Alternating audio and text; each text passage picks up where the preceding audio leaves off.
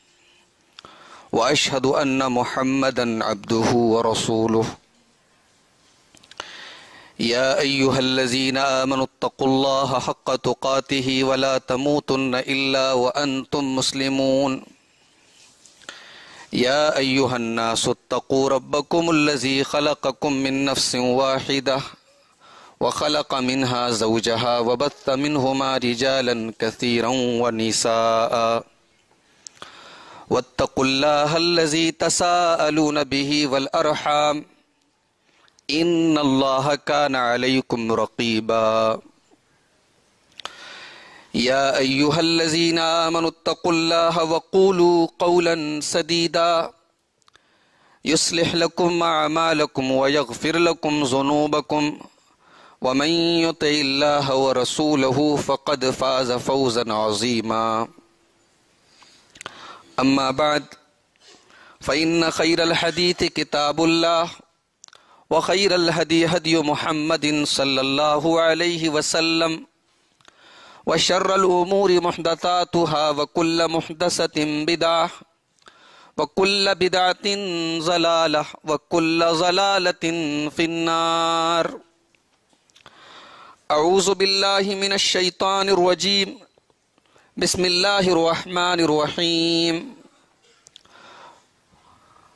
One हाजा सिराती मुस्तकीमन फ़तबरूह वला तत्तबुसबुल फ़तफ़रकबकुमन सबीली।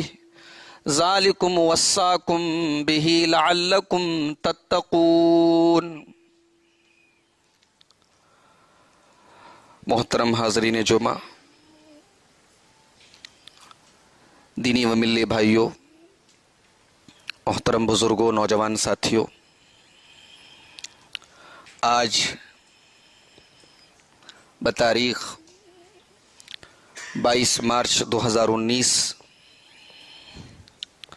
को आपकी इस अजीम शान मस्जिद मस्जिद अल हदीस, खिदरपुर, कोलकाता में अल्लाह ताला की तौफीक से आपके सामने खुतब जुमा के लिए हाजिर होने का मौका मिला है। अल्लाह ताला मुझको हक बात कहने की तोफ़ी अता फ़रमाए और हम सबको हक बात को कबूल करने की तोफ़ी अता फ़रमाए। आमीन। उनवान है सिरात मुस्तकीम क्या है? सिरात के माने होते हैं रास्ता और मुस्तकीम के माने सीधा। सिरात मुस्तकीम सीधा रास्ता। ये सिरात मुस्तकीम है क्या? आप जानते हैं कि सूरतुल फातिहा कुरान करीम की सबसे अजीम सूरत है। इसको अल्लाह ताला ने सबअम मिनल मसानी कहा है। सुर फातिहा की जो सात आयतें हैं, ये बार बार रिपीट की जाती हैं, दोहराई जाती हैं। हर नमाज़ में और हर रकात में एक मुसलमान इनको रिपीट करता है, दोहराता है। और बच्चे बच्चे को ये सूरत करीमा याद है। इस सूरत का एक नाम उम्मुल किताब भी है। ये पूरे कुरान का खुलासा है। आइए इस सूरत करीमा का तर्जमा देख लेते हैं कि इस सूरत करीमा के अंदर हम क्या अल्लाह ताला से मांगते हैं। सूरत करीमा का आगाज़ होता है, अल्हम्दुलिल्लाह रब्बिल आलमीन। तमाम तारीफें अल्लाह के लिए हैं, जो सारे जहान का, सारी कायनात का रब है। अर्रहमान रहीम, जो बड़ा ही मेहरबान है, बड़ा ही रहम वाला है। मालिकी यौमुद्दीन जो कयामत के दिन का मालिक है। ईया का नाबुदू व ईया का नस्तीन अल्लाह, हम तेरी ही इबादत करते हैं और तुझ ही से मदद मांगते हैं। इह दिन सिरातल मुस्तकीम अल्लाह तो हमको सिरात मुस्तकीम की हिदायत फरमा। सिरातल लजीना नामता अलहिम, जो उन लोगों का रास्ता है जिन पर तेरा इनाम हुआ, तेरा करम हुआ गैर मकजूब अलहिम वलीन अल्लाह तो हमें उनके रास्ते पर न चला, जिनके ऊपर तेरा गजब नाजिल हुआ और जो गुमराह थे। ये एक सिंपल ट्रांसलेशन और तर्जमा मैंने इस सूरत करीमा का किया। अगर आप गौर करें तो सूर्य फातिहा के तीन हिस्से हैं, तीन पार्ट हैं। पहले पार्ट में हम अल्लाह तबारक वाली की हमद बयान करते हैं, उसकी तारीफ़ करते हैं। दूसरा पार्ट है, हम अपनी तोहीद का इकरार करते हैं। हम कहते हैं ईया का नाबुदू वैया का नस्तीन अल्लाह, मेरा सहारा, हमारा सहारा तू है, हमारा माबूद तू है। हम अपनी तोहीद का इकरार करते हैं। और फिर इस इस सूरत करीमा का जो तीसरा और लास्ट पार्ट है, वो है कि हम इस सूरत करीमा में दुआ करते हैं, मांगते हैं अल्लाह से। क्या मांगते हैं? हिदायत मांगते हैं। इस दुनिया में सबसे बड़ी अगर कोई दौलत है तो वह हिदायत की दौलत है। अल्लाह ताला इंसान को सब कुछ दे दे और हिदायत ना दे। बेकार है इंसान की ज़िंदगी। और इंसान ज़िंदगी में चाहे जितना ही परेशान क्यों ना हो, अगर उसके पास हिदायत है तो सब कुछ है। इस कायनात की सबसे बड़ी दौलत हिदायत है। तो हमने सूर्य फातिहा, जो कुरान की सबसे अजीम सूरत है, इसमें सबसे अजीम चीज़ हमने अल्लाह से मांगी। क्या मांगा हमने? हिदायत मांगी। अब यहीं पर एक बात समझ लीजिए कि हिदायत का दो मतलब होता है। हिदायत की दो मीनिंग होती है। हिदायत का एक मतलब होता है रास्ता दिखाना, और एक मतलब होता है रास्ता चलाना। भाई, एक होता हमको रास्ता पता ही नहीं है। किसी ने हमको गाइड किया कि तो कोई ये रास्ता इधर जाता है, ये खिदरपुरा जाता है। इसको भी अरबी में हिदायत कहते हैं गाइडेंस कहते हैं। और एक होता है कि रास्ता हमको पता है, लेकिन हम रास्ते पे चलने की ताकत नहीं रखते। हम कमज़ोर हैं तो रास्ते पे कोई चला रहा है हमको, ये भी हिदायत है। तो हिदायत का जब मतलब रास्ता दिखाना हो तो अरबी में उसके साथ एला आता है। और हिदायत का मतलब जब किसी को रास्ता चलाना हो तो उसके साथ लाम आता है। यहाँ अगर हिदायत का मतलब सिर्फ़ रास्ता दिखाना होता तो एह देना सिरातल मुस्तकीम ना होता। एह देना एलस सिरातल सिरातल मुस्तकीम होता। यहाँ एला नहीं लाया गया, यहाँ लाम नहीं लाया गया। यहाँ डायरेक्ट एहदना के बाद असरातल मुस्तकीम लाया गया। अरबी ग्रामर के एतबार से यहाँ हिदायत का दोनों माना है। यानी हम तर्जमा यह भी कर सकते हैं कि अल्लाह तो हमको सीधे रास्ते पर चला। और यह तर्जमा भी कर सकते हैं कि अल्लाह तो हमको सीधा रास्ता दिखा। अच्छा। आज तो मोबाइल का दौर है। हम किसी नई जगह जाते हैं तो गूगल नेविगेशन स्टार्ट कर लेते हैं गूगल मैप स्टार्ट कर लेते हैं। कि साहब, हमें फला जगह जाना है, हमने गूगल में टाइप कर दिया गूगल हमको रास्ता बता रहा है। लेकिन आपने कभी गौर किया होगा कि गूगल कभी कभी धोखा भी दे देता है। गूगल ये कहता है कि ये रास्ता इधर से शॉर्टकट है, आप चले जाओ। और आपने नेविगेशन के मुताबिक अपनी गाड़ी उस रास्ते पे डाल दी। आगे चल के पता चला कि रास्ता बंद है, वहाँ ब्रिज बन रहा है। आप शॉर्टकट के चक्कर में थे और गूगल ने आपको बताया कि इधर से रास्ता, अभी दो दिन पहले की बात है, मैं अपने यहाँ यूपी में था, बनारस में। तो मुझे सीवान जाना था, बिहार में एक जगह है सीवान। तो गूगल के रास्ते पर हम लोग चल रहे थे। अब वो रास्ते में एक नदी थी। अब गूगल हम लोगों को नदी की तरफ़ लेके जा रहा था। और रास्ता बता रहा है कि रास्ता है, जबकि वहाँ नदी थी, रास्ता था ही नहीं। पुल बहुत दूर था वहाँ से। तो गूगल हमेशा सही नहीं होता। अगर हमको ये पता है कि ये रास्ता फला जगह जाता है तो सवाल ये पैदा होता है कि क्या इस रास्ते पर कोई चला है?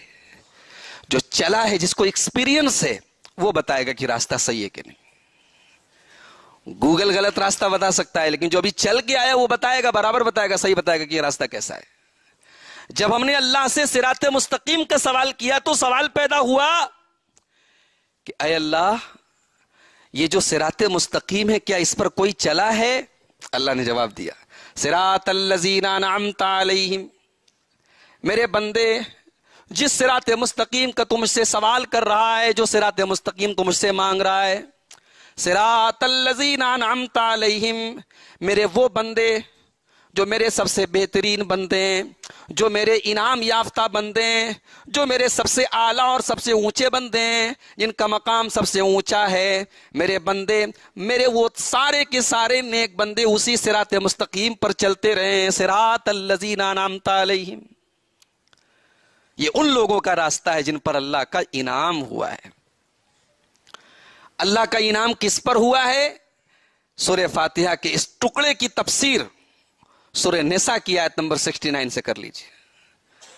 कौन लोग हैं जिन पर अल्लाह का इनाम हुआ? सुर निसा की आयत नंबर 69 अल्लाह फरमाता है रसूल फ़उलाइकमाल्लज़ीन अनअमल्लाहु अलैहिम मिनन नबिय्यीन वस्सिद्दीकीन वश्शुहदाइ वस्सालिहीन व हसुन उलाइक रफीका।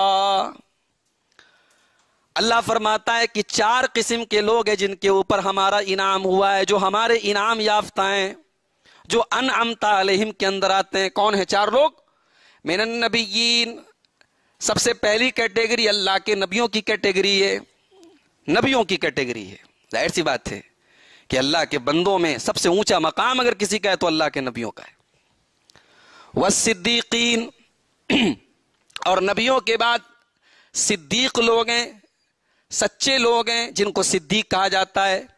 वह शोहदा और अल्लाह की राह में शहीद होने वाले शोहदा हैं। वह सालहीन और अल्लाह के तमाम के तमाम नेक बंदे हैं। ये चार कैटेगरीज हैं जो अनाम तालहिम के अंदर आते तो गोया हम अल्लाह से ये दुआ करते हैं कि अल्लाह तो हमें नबियों के रास्ते पर चला तो हमें सिद्दीकीन के रास्ते पर चला तो हमें शोहदा के रास्ते पर चला तो हमें नेक लोगों के रास्ते पर चला। उसके बाद हम अल्लाह से ये भी कहते हैं कि इस रास्ते से हटाने वाले, इस रास्ते से भटकने वाले जो लोग हैं, जिनको ठोकर लटकट के चक्कर में कहीं और निकल गए अय अल्लाह हमारे साथ ऐसा ना हो। इसलिए हम अपनी दुआ को कंप्लीट करते हुए कहते हैं गैर मकदूब अय अल्लाह, तू हमें उनके रास्ते पर ना चला जिनके ऊपर तेरा गजब नाजिल हुआ। किसके ऊपर अल्लाह का गजब नाजिल हुआ? यहूदियों के ऊपर। वलसालीन और अल्लाह हमें गुमराहों के रास्ते पर न चला। गुमराह कौन लोग हैं? ईसाई, नसरानी। अच्छा यहूदियों के ऊपर अल्लाह का गजब क्यों नाजिल हुआ और ईसाई गुमराह क्यों हुए? एक मोटी सी बात अपने दिमाग में बिठा लीजिए। यहूदियों के पास इल्म था, अमल नहीं था। यहूदियों के पास इल्म था, अमल नहीं था। ईसाइयों के पास अमल था, इल्म सही नहीं था। सिरात मुस्तकीम क्या है कि इल्म भी हो और अमल भी हो और इल्म सही हो। अगर इल्म है और अमल नहीं है तो गजब अल्लाह का नाजिल होता है, जैसे यहूदियों के ऊपर नाजिल हुआ। और अमल बहुत है, लेकिन इल्म सही नहीं है। बगैर इल्म के अमल हो रहा है, बगैर दलील के अमल हो रहा है, बगैर कुरान के, बगैर हदीस की रोशनी के अमल हो रहा है तो अमल तो है। लेकिन गुमराही वाला अमल है। तो गैर मकसूब अल्लाह तो हमें उनके रास्ते पर न चला, जिनके ऊपर तेरा गजब नाजुल हुआ और जो गुमराह हो गए। तो सुर फातिहा के अंदर हम अल्लाह से सिरात मुस्तकीम पर चलने की दुआ मांगते हैं। अच्छा एक बंदे की कामयाबी क्या है? बंदे की सबसे बड़ी कामयाबी यह कि वह अल्लाह को पाले और रसूल को पाले। हमें अल्लाह मिल जाए और रसूल मिल जाए, इससे बड़ी कामयाबी क्या है?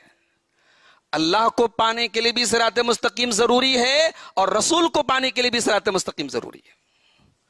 अल्लाह कहाँ मिलेगा? सिरात मुस्तकीम पर मिलेगा। अल्लाह फरमाता है सुरहूत के अंदर इन रब्बी अला सिरात मुस्तकीम। हज़रत हूद इस्लाम अपनी कौम को समझा रहे नसीहत कर रहे हैं, तकरीर कर रहे हैं और कह रहे हैं इन रब्बी अला सिरात मुस्तकीम। मेरी कौम के लोगों, तुम अगर अल्लाह को पाना चाहते हो, तुम अल्लाह को पाना चाहते हो, तुम अल्लाह का कुर्ब पाना चाहते हो इन रब्बी अला सिरात मुस्तकीम तो अल्लाह, मेरा रब तुमको सिरात मुस्तकीम पर मिलेगा। तो अल्लाह को पाना है तो सिरात मुस्तकीम ज़रूरी है। और रसूल भी हमको सिरात मुस्तकीम पर ही मिलेंगे।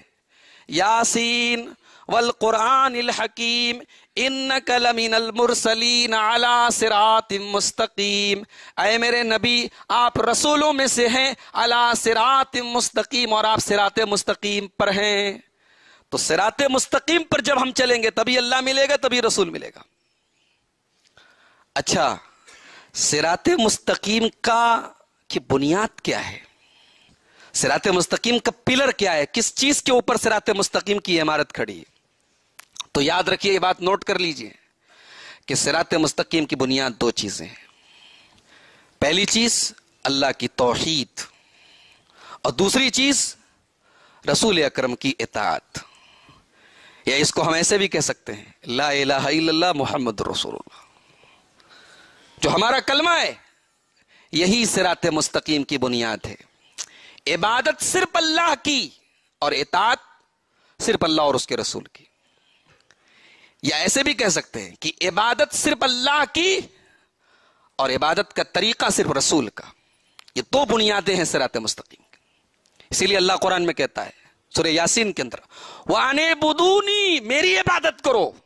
सिर्फ़ मेरी इबादत करो। हाजा सिरात मुस्तकीम, यही सीधा रास्ता है। और इसीलिए अल्लाह ताला सूर्य निसा की आयत नंबर 69 में कहता है रसूल जो अल्लाह की और रसूल की इतात करता है, वही अनअमता अलैहिम के साथ होता है, वही सिरात मुस्तकीम पर होता है। तो पता ये चला कि सिरात मुस्तकीम की बुनियाद दो चीज़ें हैं, एक अल्लाह की इबादत और उसकी तोहीद, और दूसरे रसूल अक्रम सल्लल्लाहु अलैहि वसल्लम की इतात अब एक सवाल यह पैदा हुआ कि सिरात मुस्तकीम पर अल्लाह ताला सबको चलाता है या कुछ खास बंदों को चलाता है? सिरात मुस्तकीम की रहनुमाई अल्लाह ताला सबको करता है, सबको इसकी तौफीक मिलती है या अल्लाह के स्पेशल बंदों को मिलती है? अल्लाह ने जवाब दिया, सबको नहीं मिलती है। इसके लिए अकीदा मज़बूत होना चाहिए, तोहीद मज़बूत होनी चाहिए। वमैया तसिम बिल्ला फ़कद हुदिया इला सिरात मुस्तकीम। जो अल्लाह को मजबूती से पकड़ ले हालात जिसका कुछ न बिगाड़ पाए जमाना जिसकी तोहीद और ईमान और अकीदे में कोई फ़र्क न कर पाए। मुसीबतें और परेशानियाँ उसके ईमान को को कॉम्प्रोमाइज करने पर मजबूर न कर दें। वमई या तसिम बिल्ला जो अल्लाह को मजबूती से पकड़ ले फ़कत हुदिया इला सिरात मुस्तकीम। उसी को अल्लाह ताला सिरात मुस्तकीम की रहनुमाई करता है। उसी को अल्लाह ताला सिरात मुस्तकीम पर चलाता है। अल्लाह को मजबूती से पकड़ ले अल्लाह के नबी के सहाबा को देखो। सिरात मुस्तकीम पर चलने ही की वजह से तो उनके ऊपर मुसीबतों के पहाड़ तोड़े गए। तीन तीन साल तक अल्लाह के रसूल के पूरे खानदान और पूरे साहब कराम का बाइकआउट किया गया, उनको पेड़ के पत्ते चबाने पड़े। इसी सिरात मुस्तकीम पर चलने के लिए साहबा ने अपना वतन छोड़ा। इसी ईमान और इसी तोहीद की खातिर साहब कराम ने अपने जान और माल की कुर्बानी दी। इसी तोहीद और ईमान की हिफाजत के लिए हज़रत बिलाल हबशी ने अरब की तपती हुई रेत पर अपनी चर्बी को पिघलने पर तो वो तैयार हो गए, मगर अपने ईमान से कॉम्प्रोमाइज करने पर तैयार नहीं हुए।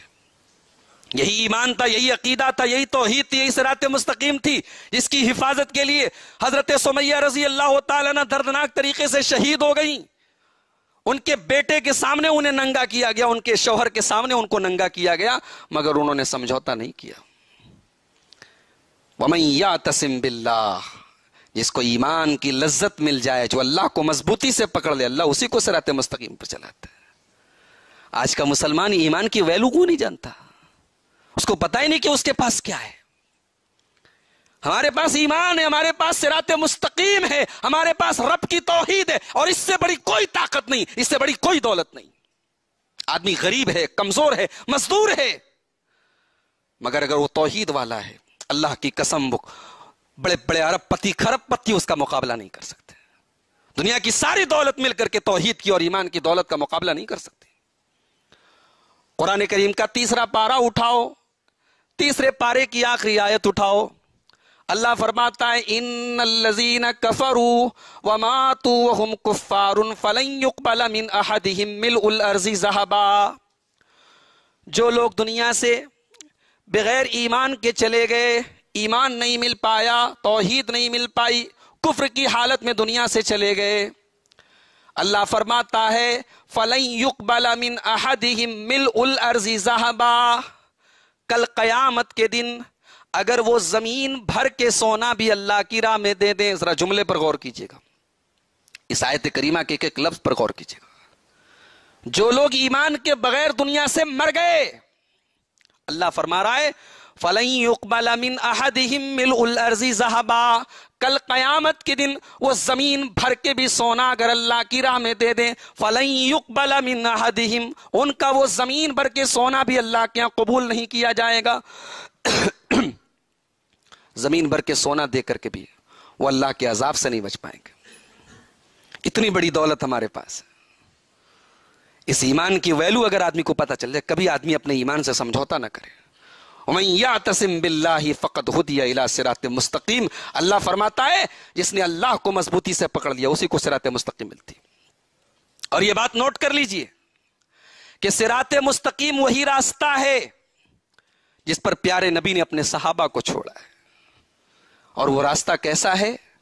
आइए जरा प्यारे नबी के अल्फाज में सुनते हैं। अल्लाह के नबी साहबा को तक के सामने तकरीर कर रहे हैं, खुतबा दे रहे हैं। और आपका खुतबा ऐसा है, आपकी तकरीर ऐसी है, साहबा कहते हैं, हमारी आँखों से आँसू बहने लगे। हमारे दिल काँप उठे, हम लरज उठे।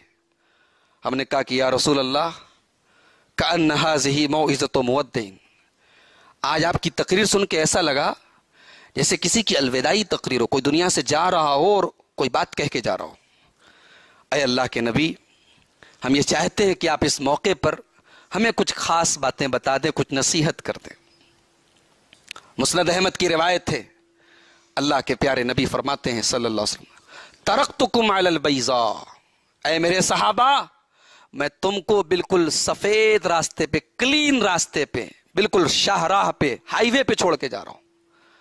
ऐसे रास्ते पे छोड़ के जा रहा हूँ लई लुहा का नहारिहा, जहाँ रात दिन सब बराबर है, जहाँ कभी अंधेरा नहीं है। मैं ऐसा रास्ता दे के जा रहा हूँ, जिसमें कोई चीज़ सीक्रेट नहीं है।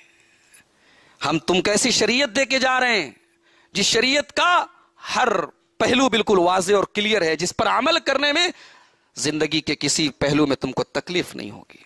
लई लुहा का नहारिहा, जिसका रात और दिन बराबर है।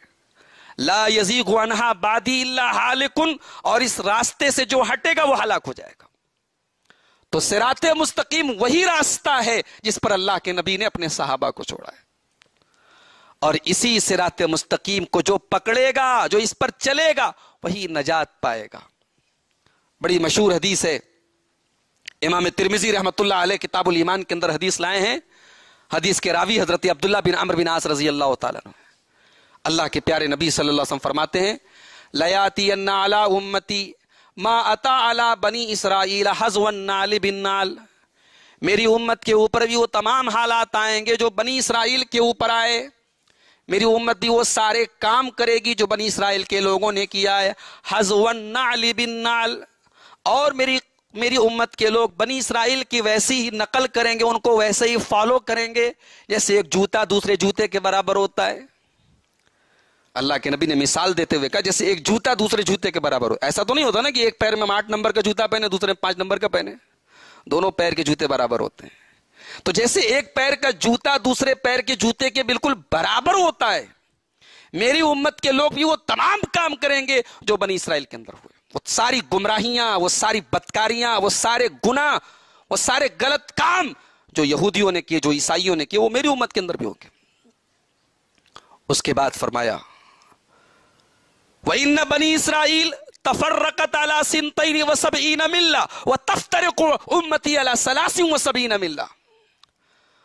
और याद रखो, बनी इसराइल के अंदर 72 सेक्ट्स पैदा हुए, बहत्तर फिरके पैदा हुए। और मेरी उम्मत 73 ग्रुप्स में डिवाइड हो जाएगी, तिहत्तर फिरकों में तकसीम हो जाएगी। उलमा ने लिखा है कि अगर हम काउंट करने बैठे तो तिहत्तर से भी आगे निकल जाएँगे। यानी यहाँ अल्लाह के रसूल ने कोई गिनती नहीं बताया कि तिहत्तर ही फिरके होंगे। तिहत्तर तो मिनिमम होंगे ही होंगे, इससे ज़्यादा भी हो सकते हैं। तिहत्तर फिरके, यानी हम इस मामले में यहूदियों से भी आगे निकल जाएँगे, ईसाइयों से भी आगे निकल जाएँगे। तिहत्तर फिरके फिन्नार। और अफसोस की बात यह है कि सबके सब जहन्नम में जाएँगे। इल्ला मिल्लतों वाहिदा, सिवाय एक जमात के, एक गिरोह के। साहब किराम की जगह हम होते तो हम सवाल करते कि अल्लाह के नबी जरा उन बहत्तर की लिस्ट बताइए जो गुमराह हो जाएँगे। साहब किराम की जगह हम होते तो हम गुमराह कौन है, इस पर डिस्कस करते। लेकिन साहबा अजीब लोग थे। गुमराह कौन है, इस पर उन्होंने डिस्कशन नहीं किया। उन्होंने ये पूछा कि जो एक जमात नजात पाएगी, जो एक जमात जहन्नम में नहीं जाएगी, या रसूल अल्लाह वो कौन सी जमात होगी? यानी एक मोमिन का टारगेट क्या होना चाहिए? कि मैं कैसे हक पर चलूँ, कैसे सिरात मुस्तकीम पर चलूँ, कैसे सीधी राह पर चलूँ? एक टारगेट ये होना चाहिए। साहब किराम ने पूछा कि, या रसूल अल्लाह वो एक जमात जो नजात पाएगी, वो कौन सी होगी? अल्लाह के नबी ने फरमाया, माँ अना वासहाबी ये वही जमात होगी जो मेरे और मेरे सहाबा के रास्ते पर चलेगी। जो मेरे मनहज पर और मेरे सहाबा के मनहज पर चलेगी, वही जमात। आपने अल्लाह के रसूल ने उस जमात का नाम नहीं बताया। उस जमात का मनहज बता दिया कि मनहज क्या होगा? रसूल का रास्ता और सहाबा का रास्ता। तो यही है सरात मुस्तकीम, जो अल्लाह के रसूल का रास्ता है, जो सहाबा का रास्ता है। और यहीं पर एक नुकता याद कर लीजिए पॉइंट याद कर लीजिए।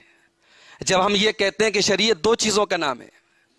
अल्लाह की एतात रसूल की एतात तो हम साथ में एक जुमला और बढ़ाते हैं और ये बढ़ाना ज़रूरी है कि रसूल की एतात वैसे की जाए, रसूल को वैसे माना जाए जैसे साहबा ने माना। यह शर्त और यह कंडीशन लगाना इसलिए ज़रूरी है कि सिर्फ़ रसूल को मान लेना काफ़ी नहीं है, हमें रसूल को वैसे मानना है जैसे साहबा ने माना है। इसीलिए अल्लाह कुरान में कहता है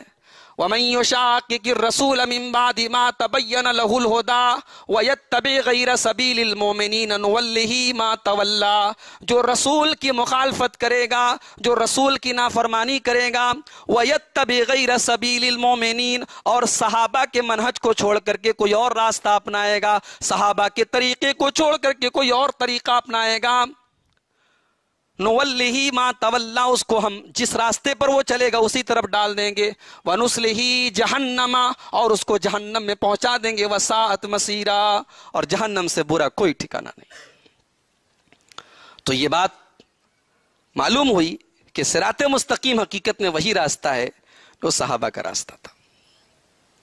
अच्छा अब एक सवाल यह पैदा होता है कि हर रास्ते की एक मंजिल होती है। सिरात मुस्तकीम की मंजिल क्या है? भाई, रास्ता है, सिरात मुस्तकीम रास्ता अल्लाह का रास्ता। इसकी मंजिल क्या है? इसका टारगेट क्या है? अल्लाह जवाब देता है सुर यूनुस के अंदर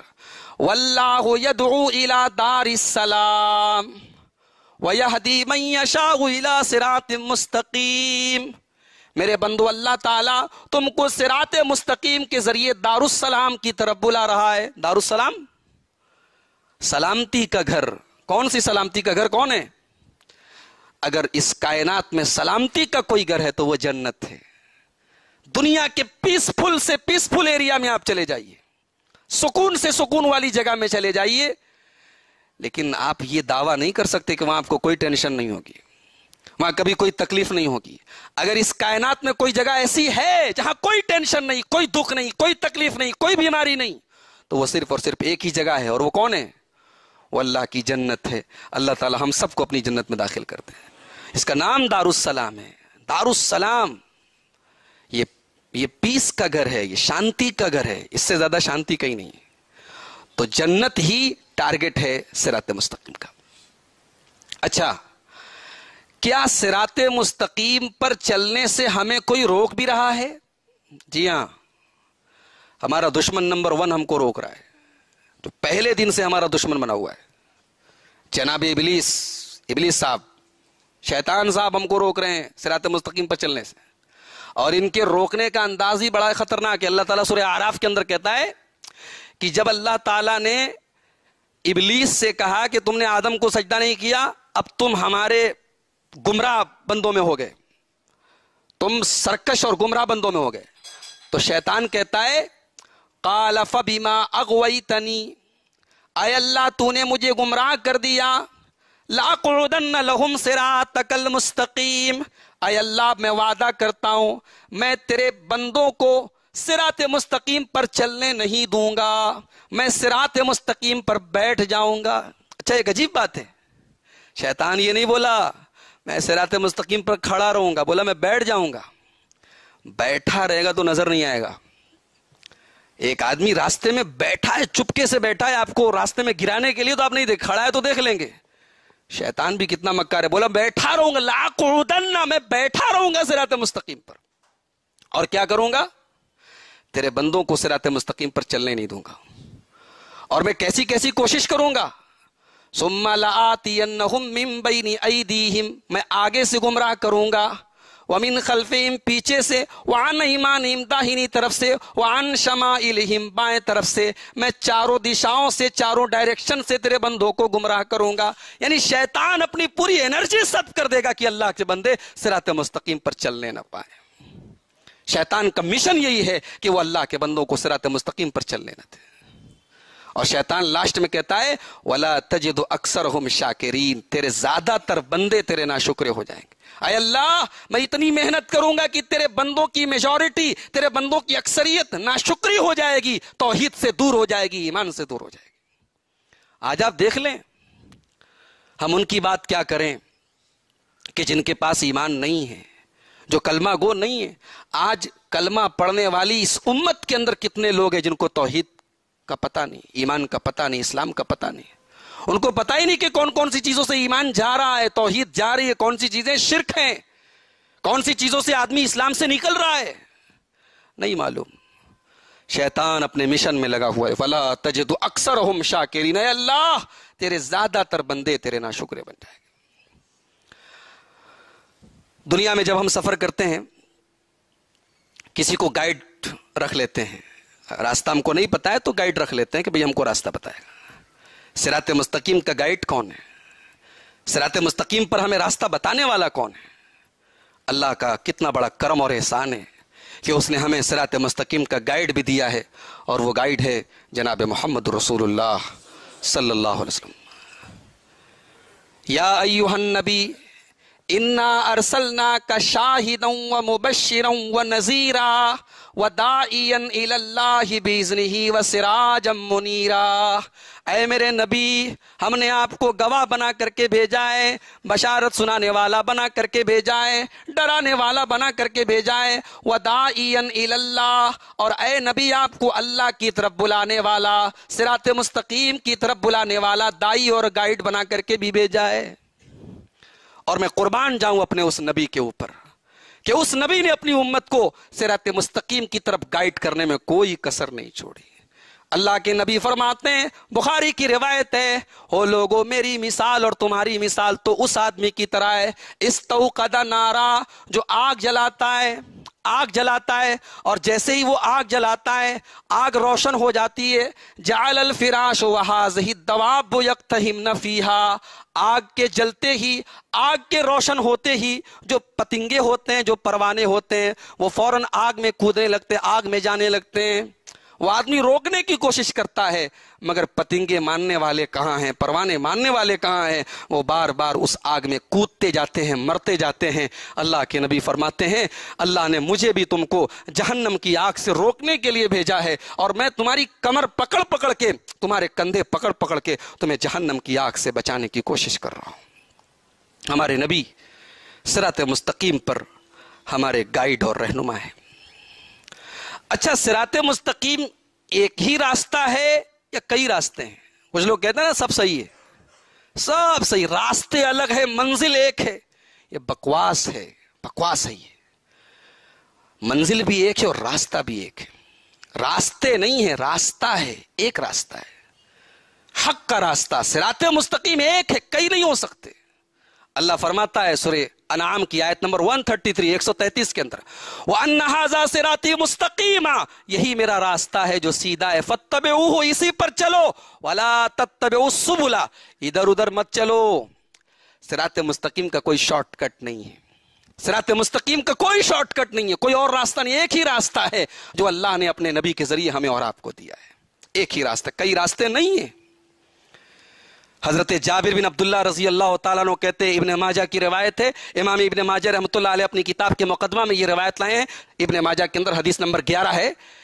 हज़रत जाबिर कहते कि हम लोग अल्लाह के नबी सल्लल्लाहु अलैहि वसल्लम के पास बैठे थे, अल्लाह के नबी ने एक लाइन खींची। फ़खत खत्तन एक लाइन खींची व खत्त खत्तनी अन यमीन ही व खत्त खत्तनी अन यसारी। और आपने दो लाइन और खींची दाएँ तरफ़ और दो लाइन और खींची बाएँ तरफ़।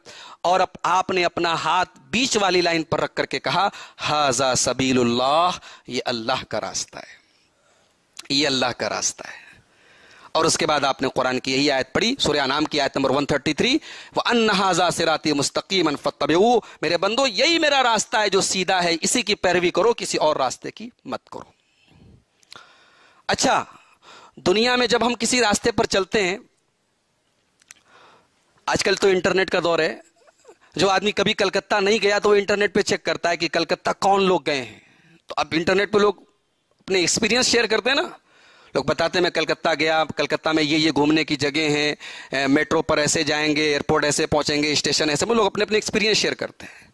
सिरात मुस्तकीम पर चलने के लिए हमारे लिए नमूना कौन लोग हैं? हमारे लिए आइडियल कौन लोग हैं? अल्लाह ने फरमाया कुरान करीम के अंदर उलाईकल्लजीन हदल्ला अपने नबियों का ज़िक्र करके कहा उलाईकल्लजीन हदल्ला ये मेरे नबी लोग हैं, ये मेरे रसूल हैं, ये मेरे पैगंबर हैं, ये अल्लाह के तरफ़ से सिरात मुस्तकीम की हिदायत इनको मिली है। फबे हुदा हो मुक्तदे, इनको अपना आइडियल बना लो। ये तुम्हारे आइडियल हैं। तो सिरात मुस्तकीम के आइडियल कौन है?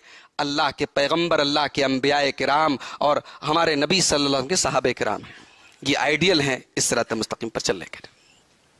अच्छा सिरात मुस्तकीम पर स्पीड कैसी होनी चाहिए हमारी?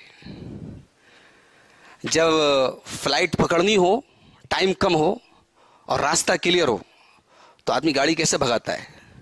सिरात मुस्तकीम पर चलना नहीं है, भागना है।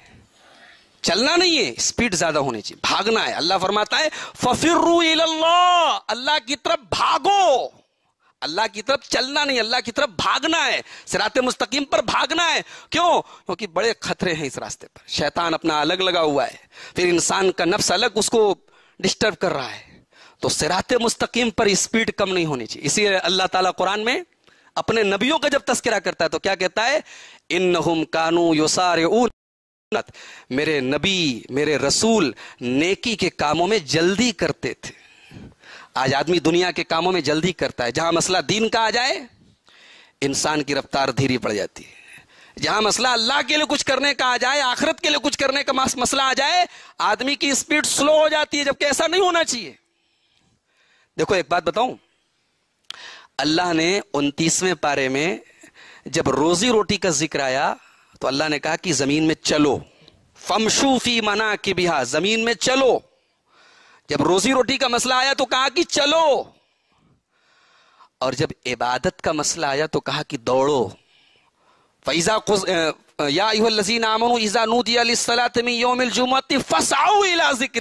जब जुमा के दिन जुमा की अजान हो जाए तो अल्लाह के ज़िक्र की तरफ़ दौड़ो। देखिए, वहाँ कहा चलो और यहाँ कहा दौड़ो। और जब अल्लाह का मामला आया तो कहा कि फफिर्रू अल्लाह की तरफ़ भागो।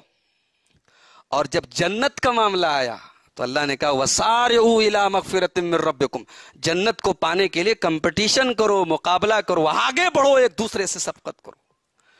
तो सिरात मुस्तकीम पर स्पीड स्लो नहीं होनी चाहिए स्पीड ज़्यादा होनी चाहिए।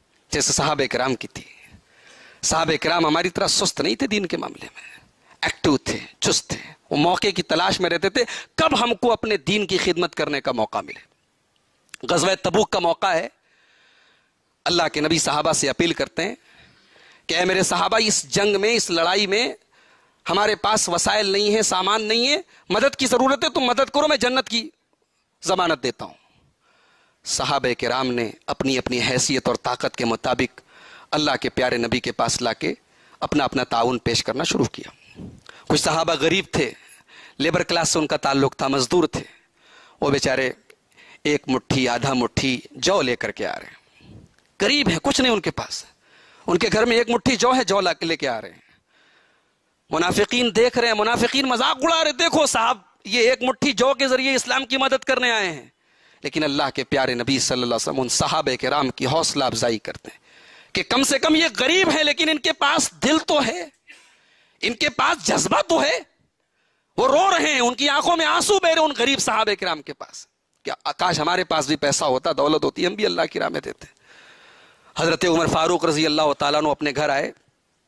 घर का सारा माल इकट्ठा किया और सारे माल को, सारे सामान को दो हिस्सों में डिवाइड किया।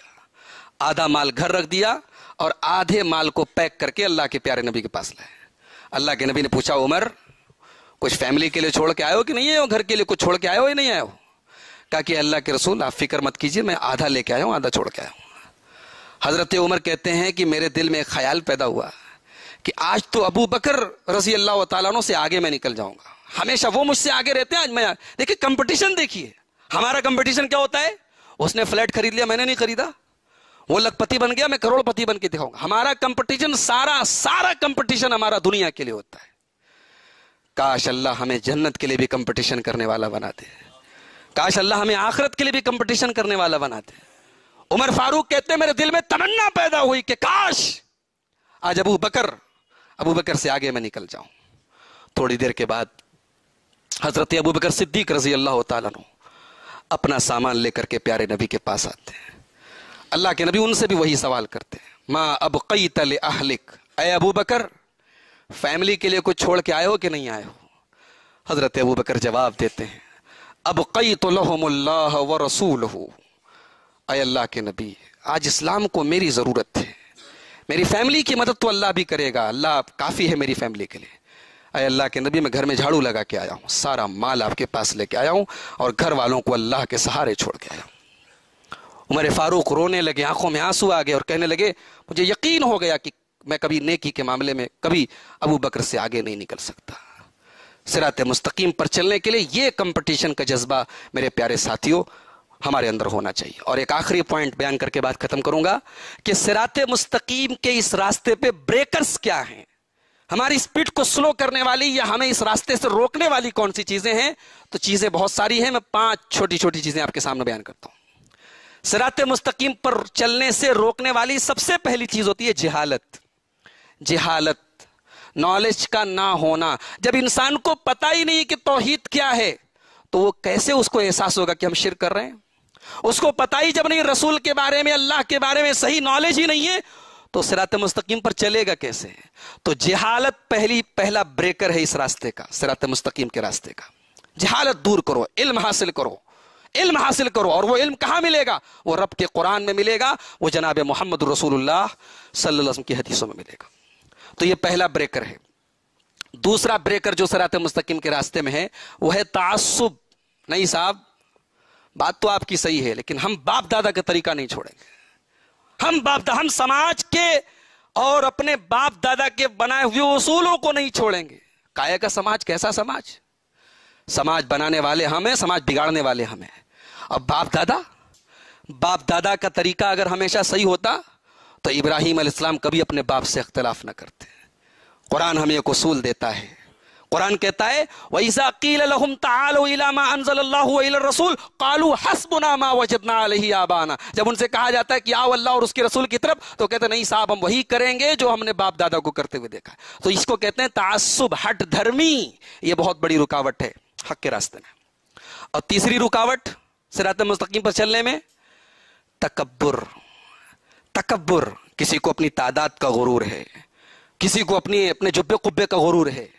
किसी को अपने शान शौकत का गुरूर है, ये सारा गुरूर एक दिन खाक में मिल जाएगा। अल किब्र बतरुल हक, वो तकबर जो इंसान को हक और सच्ची बात को कबूल करने से, एक्सेप्ट करने से रोक दे, वो तकबर अल्लाह को बहुत नापसंद है। वो जहन्नम में लेके जाने वाला है वो तकबर तो तकबर ये तीसरी चीज़ है। और चौथी चीज़ ओलमाए सू, वो ओलमा वो ओलमा जैसे ओलमा यहूद और नसारा के अंदर पैदा हुए, जिनका काम था उम्मत को सिरात मुस्तकीम से रोकना। अल्लाह ताला कहता ना सुरह तौबा के अंदर इन कसीर मिन अहबार से बिल बातिल। यहूद और नसारा के बहुत सारे ओलमा हैं जो उनका माल हराम तरीके से खाते, हराम खोर हैं। वह यसुद्दून अन सबीलिल्लाह, और बंदों को, अल्लाह के बंदों को सिरात मुस्तकीम से रोकते हैं। वही काम आज इस उम्मत के भी ओलमाए सू कर रहे हैं। इस उम्मत के बुरे ओलमा जो अपने पेट की दुकानों को चलाने के लिए लोगों को हक रास्ते से, हक बात से मना करते हैं। तो ये चौथी रुकावट है सिरात मुस्तकीम पर चलने के लिए। और पांचवी रुकावट क्या है? इंसान के दिल में जब कजी पैदा हो जाए, इंसान का जब दिल टेढ़ा हो जाए, इंसान का दिल जब खराब हो जाए तो फिर वह हक बात को कबूल नहीं करता है। इसलिए अल्लाह कुरान में कहता है अम्मल लजीन फ़ी कुलूबिहिम ज़ैगुन फयत्तबिऊन मा तशाबह मिन जिसका दिल टेढ़ा हो जाए, जिसके दिल में कजी आ जाए, वो फिर हक बात को कबूल नहीं करता है। अल्लाह ताला हम सब के दिल की हिफाजत फरमाए। इसलिए हमको एक दुआ करते रहना चाहिए। प्यारे नबी, एक दुआ करते थे। ये दुआ याद कर लो। अल्लाह मसबित कल्बी अला दीनिक। अल्लाह मसबित कल्बी अला दीनिक। अय अल्लाह, मेरे दिल को अपने दीन पर जमा दे। ये दुआ प्यारे नबी वसम करते थे, ये दुआ हमको करते रहना चाहिए। तो सिरात मुस्तकीम क्या है? इस मौजू पर ये चंद अहम बातें थी। अल्लाह ताला हम सबको सिरात मुस्तकीम पर चलने की तोफ़ी नसीब फरमाए। अल्लाह ताला इस रास्ते की रुकावटों से हम सबको निपटने की तोफ़ी फरमाए। अल्लाह ताला सारी उम्मत को, सारे लोगों को इस मनहज को, इस रास्ते को, जो अल्लाह का रास्ता है, जो रसूल का रास्ता है, जो सहाबा का रास्ता है, अल्लाह ताला इस रास्ते पर सबको चलने की तोफ़ी नसीब फरमाए। एक हफ़्ता हो गए न्यूजीलैंड के अंदर जो दर्दनाक हादसा हुआ था। अभी उसकी यादें जहन में बाकी हैं, उसका गम, उसकी तकलीफ़ बाकी है। अल्लाह ताला वो तमाम लोग जो उस हादसे में कत्ल हुए, अल्लाह ताला उनकी मफफरत फरमाए, उनके घर वालों को सब्र अता फरमाए। अल्लाह ताला हमारे जान माल की हिफाजत फरमाए। जो बीमार हैं, अल्लाह सबको शिफा अता फरमाए। जो कारोबार को लेकर के रोज़ी रोटी को लेकर के परेशान है, अल्लाह उनकी रोज़ी रोटी में बरकत नसीब फरमाए। अल्लाह सबको हलाल रोज़ी की तोफ़ी दे। अल्लाह हमारे मुल्क की हिफाजत करे। अल्लाह हमारे मुल्क के माहौल की, यहाँ के अमन और चैन की हिफाजत करे। अल्लाह सबको मिलजुल कर रहने की तोफ़ी कता फरमाए। जब तक दुनिया में ज़िंदा रखे, इस्लाम पर ज़िंदा रखे और ख़ात्मा ईमान पर हो, आमीन व आखिर दावाना अलहमदिल्ला